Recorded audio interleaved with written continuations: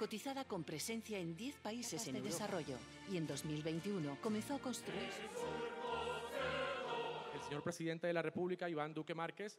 Aquí estamos viendo una nueva granja solar que se inaugura en el departamento de Bolívar, 12 megavatios, una empresa que tiene 70 megavatios en este momento en construcción, pero sobre todo que tiene mil megavatios en este momento en lo que es el listado de proyectos a desarrollar en nuestro país.